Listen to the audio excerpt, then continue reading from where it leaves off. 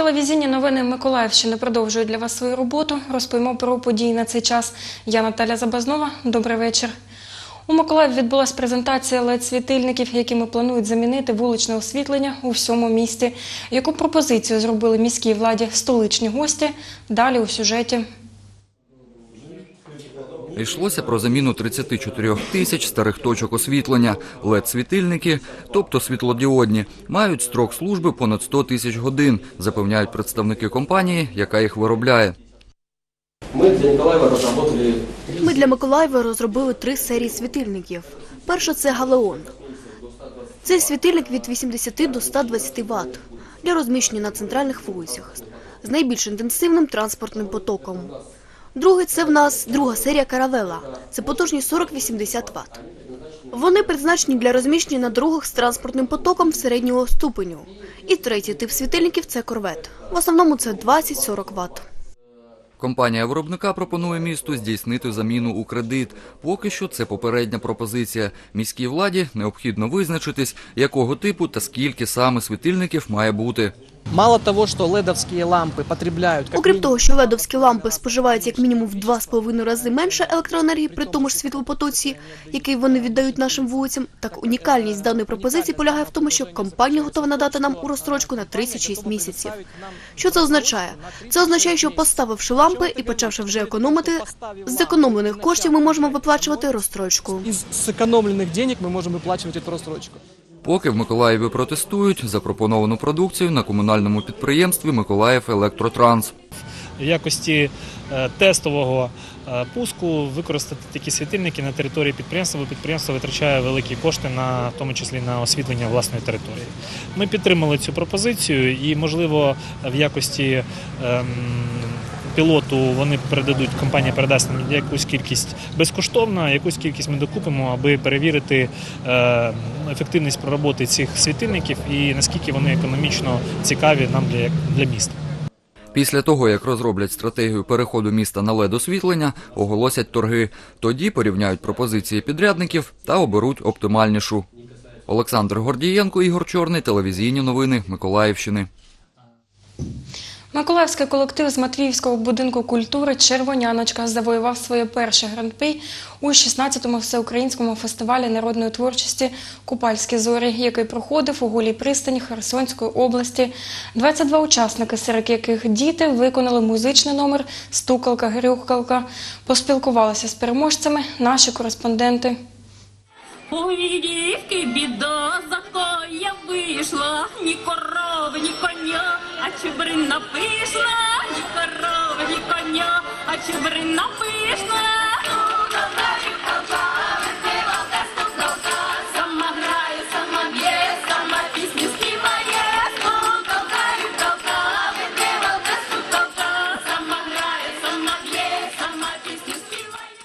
Повезли ми туди стукалку-грюкалку. Е, Цю пісню ми е, в репертуарі виконуємо ну, порівняно недавно. Минулому році ми їздили з цим номером на е, всеукраїнський фестиваль Пісенний драйв, який був в місті Очакові. Ми взяли перше місце. Також гарна нагорода, але це було тоді ще без дітей. І от коли настала пора вже визначатися над репертуаром на голу пристань, звісно, хочеться щось таке, щоб зайняло душу журі. От.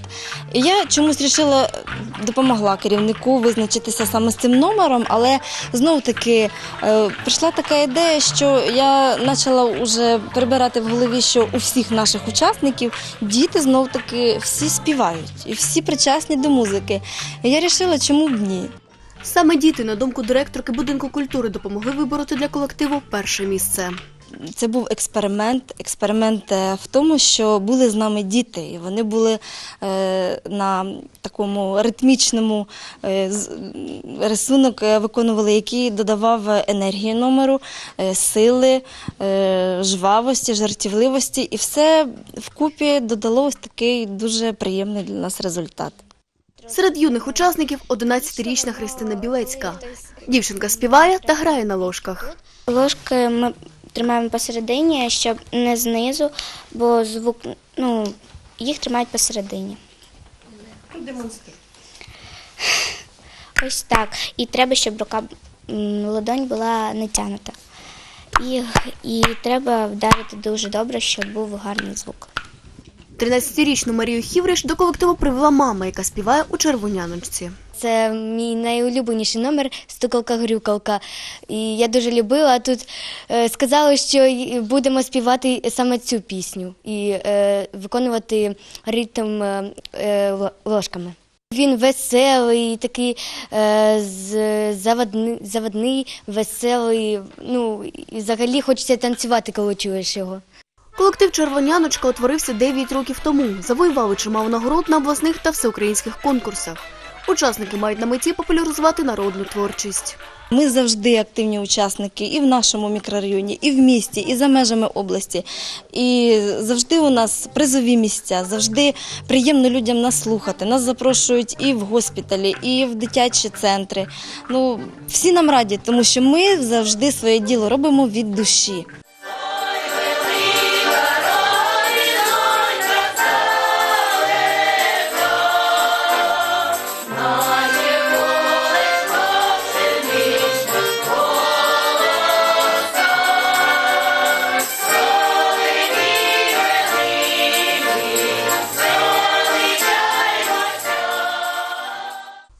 Копальські зорі у голі пристані влаштовують з 2003 року.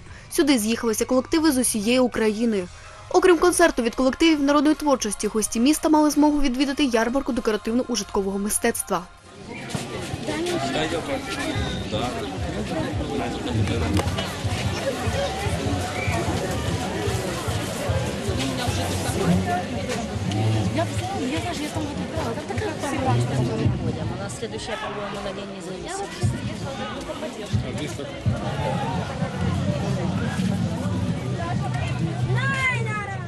Світлана Кльосова, Юлія Кускова, телевізійні новини Миколаївщини. На Миколаївському центральному стадіоні поклали газон на новому тренувальному полі. Вартість трав'яного покриття 2 мільйони гривень. За два місяці на цьому полі можна буде проводити тренування та матчі. Поряд з основним полем муніципального футбольного клубу Миколаїв, де команда приймає суперників по першій лізі чемпіонату України, потроху з'являються риси нового поля. Воно тренувальне. За планом, тут має бути невеличкий стадіон, який вміщуватиме 500 глядачів. Будівництво розпочали у 2016 році. Тоді на цьому місці було сміттєзвалище. То свалка образовалась. Це звалище виникло за, скажімо так, тривалий час роботи стадіону.